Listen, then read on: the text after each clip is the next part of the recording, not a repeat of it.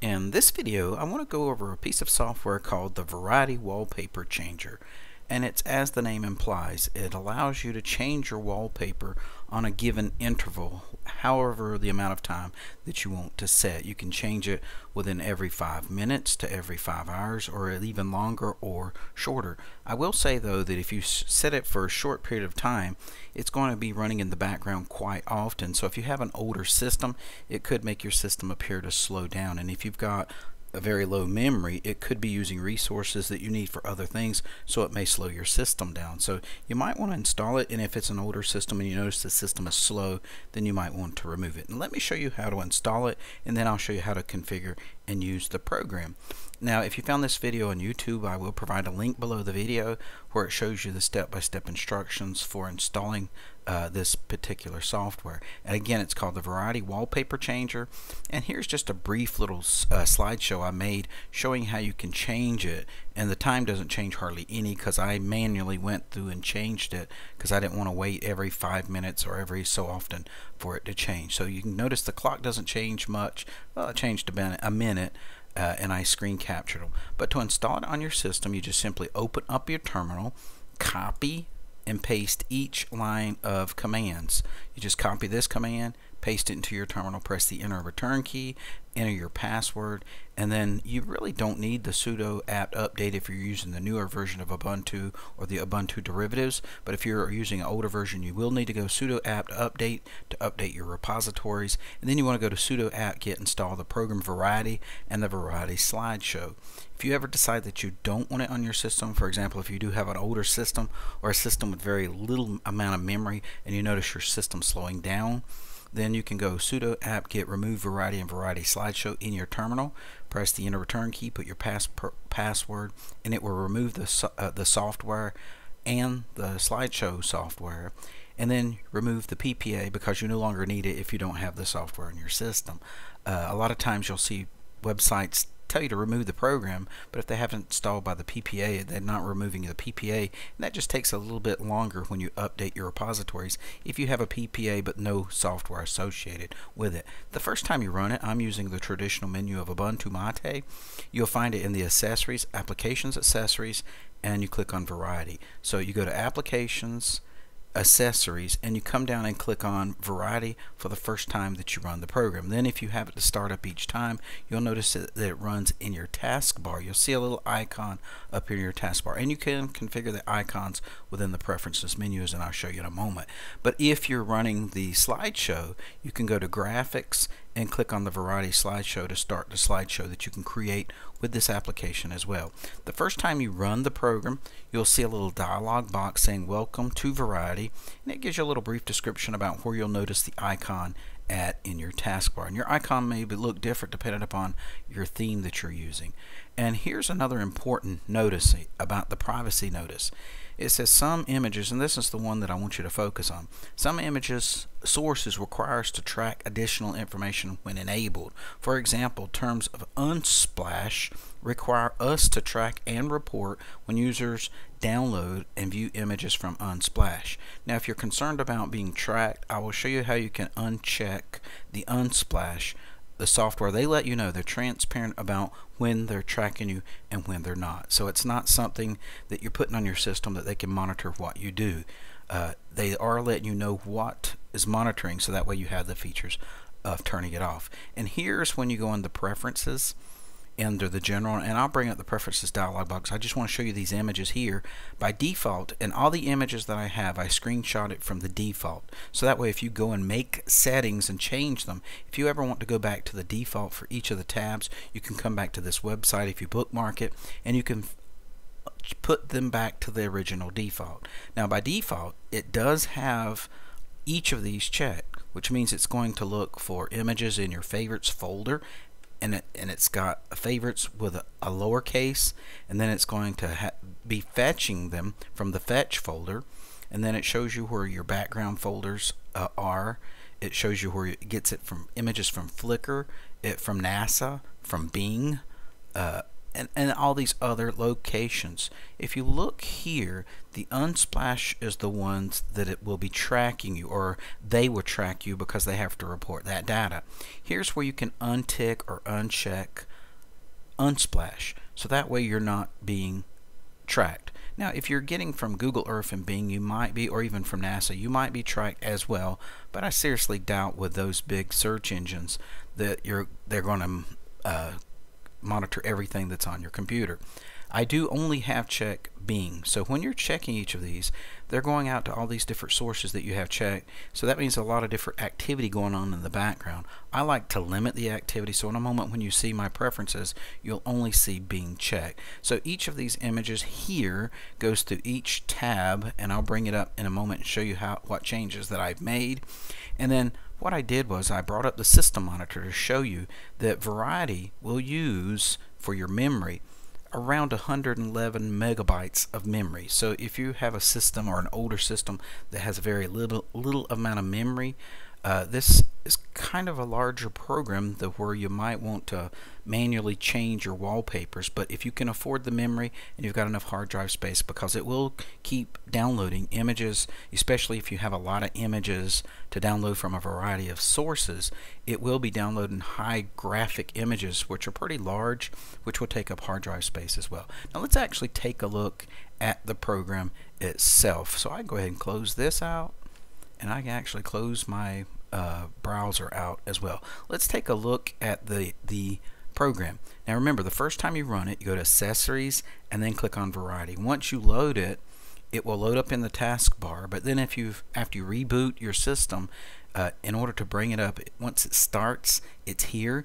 You can click Next to go to the next image. You can click here to go back to the previous image or keep going back to the previous image. And so that way that I'll go back to the original one, which was its it was at. It will show you the name of the image that your wallpaper or background is being displayed. If you want to see that wallpaper at Bing, click to view at Bing and it will open up in your default browser. It'll take a moment or two since I haven't used my Google Chrome and it will tell you a little bit of information about the wallpaper. As you can see that's the mangroves in Vietnam it has other images that you can probably see. This was a wallpaper that was uh, a couple days ago, so that it will show you wallpapers that are coming from Bing and give you a little bit of the history behind each of those. Here you got copy to your favorites. So if you'd like to copy that image and put that in your favorites, in a few moments I'll show you where your favorites are, uh, or you can set your favorites through the preferences. So if you'd like to copy that, if you want to delete that image that's on your system to the trash can. You can delete the image. Here's a lot of other things like where is it from, uh, pause the current. So if you want to leave that for several days. This checks kind of shows you a little bit more information about your history, your wallpaper selector, and your recent downloads. Here's where you, if you've created a slideshow, you can say start the slideshow and see the slideshow that you created through your preferences. So you have to set up what folders you'd like to have wallpapers or backgrounds to create a slideshow. Here's the preferences, but before I go to preferences, let's take a look at the About screen. Here's the About that shows you that it's version 8.3. It has a link to the uh, creator's wall uh, or to their website, and then it gives you a little information about the program itself about it being open source. Now let's go to our preferences. When you open up the preferences dialog box you'll see several tabs across the top. Now these have been changed because the original was every one of them was checked. I intentionally made sure that I unchecked the unsplash since they let you know that it does monitor you know the images that you download. The only one that I have currently selected is the Bing photo of the day. And actually Bing has a wallpaper changer as well that you can install and I might do that in a future video to, and then compare the two but this takes the wallpaper from the day. If you're like science and like astronomy you might want to choose the astronomy picture of the day from NASA or some of these others. But for now but to limit the amount of internet activity and things that's being downloaded since I do have a small SSD I only chose the Bing Now here where you says copy to your favorites, you could take that image that they're using as your wallpaper and put it in your favorites. And here is where you can configure where your favorites are. So where you when you click to copy an image to your favorites, it will put it in the config file, variety, and your favorites folder. You can click drop down or you can change that to where you can create what folder you would like to be your favorites. You can add additional links you can click on one and edit it or you can click on one and remove it or you can click on one open that folder from where the images are. Here's effects. You could actually add effects to the wallpapers that you're changing on your system. You can say to keep the original look. You can make it grayscale. So if you like grayscale images over rather than the color you can add a grayscale. You can put a heavy blur on them a soft blur. You can make your images look like oil paintings and you can pixelate or do other things with these filters. You can put quotes of the day. Like while ago when I went to show you the image and information about it, below there was some quotes. So you can add a quote of the day across your image and you can kind of put what color text, where you want it to be placed on your screen, the sources of your text or your quotes. You can get quotes from multiple websites.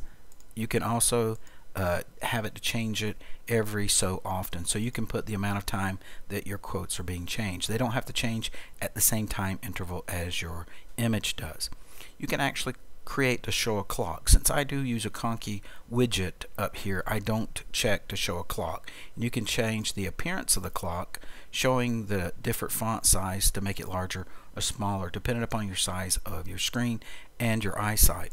Here's when you create a slideshow. You can choose to use your favorite images, and that's based off of that folder that you created here for favorites. Uh, so if you're doing that, you can say use the images in your favorites, images in all enabled image sources. And you can even say customize a folder. You could click check that and choose what folder that you would like to use images from. Since I use my screenshot and have it going to pictures, I don't have that one checked because I don't want all my screenshot images from my picture folder to be displayed as wallpaper.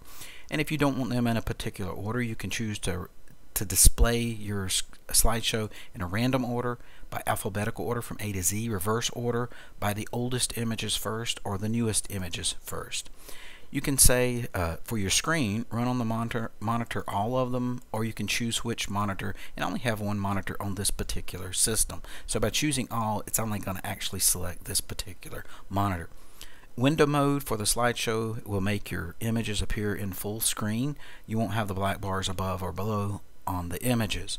The dynamics, you can choose how often the images transition uh, within your slideshow. You can have a quick fade or a slow fade by using the sliders, less of a zoom, more of a zoom, less of a pan or more of a pan, and you can choose to reset the defaults within this particular uh, thing. You can say start the slideshow now and it will use the images in the favorites that it's been putting them in as you can see the panning of those images. Now what it's doing is it's using the images taken from Bing over the last few days. So I let it, I installed this program a few days ago and I let it accumulate some images that it has accumulated over the past several days.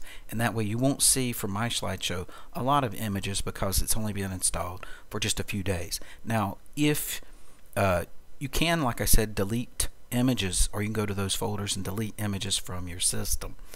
The fetch folder, when you're saving automatic or manually, it will place it in the config variety fetched folder. You can change that to any folder that you want. Remember, when a folder or a file contains a dot in front of it, it's a hidden folder. So if you're using your file manager to locate that, you'll have to go to View Hidden Files before you can locate that particular folder. You've got the ability to drag and drop folders, and you can also do clipboard monitoring. So when you copy an image to your clipboard, you can actually place it into your fetch folder as well. Color and size. It says when possible use an image and I did check this make sure it's landscape orientation.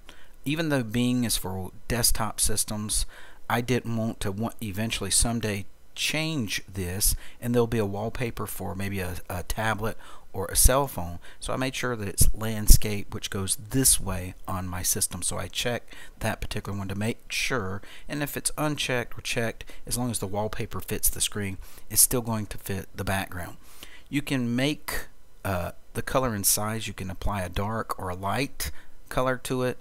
And you can choose wallpapers that have the highest ratings. And you can choose a rating. If I say choose a rating, I could drop down and choose one, two, three, four.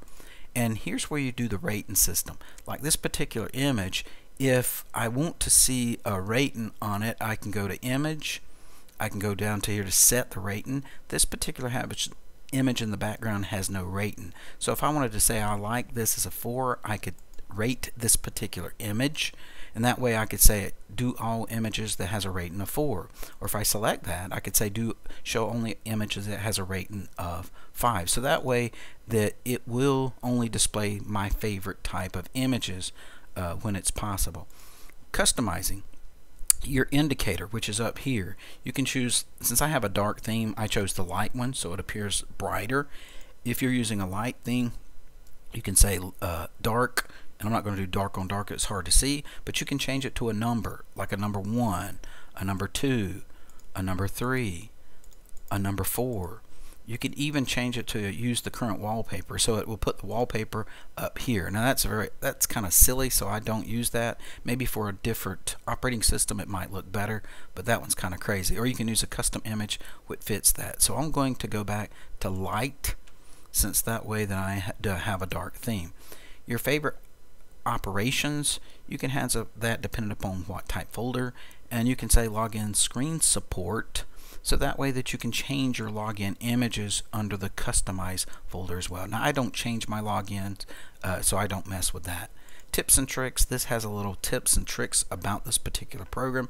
You can actually visit the website, send feedback, or if you have a bug, here's where you submit bugs. Or if you would like to see additional features, you can go to this link and request a feature to be added to this. If you'd like to donate to the creator, you can click here and donate by PayPal or by Bitcoin by using that link. So this is just a quick rundown on how to use the Variety wallpaper changer if you're using a Linux operating system. Hopefully this video has been helpful to you and have a great day.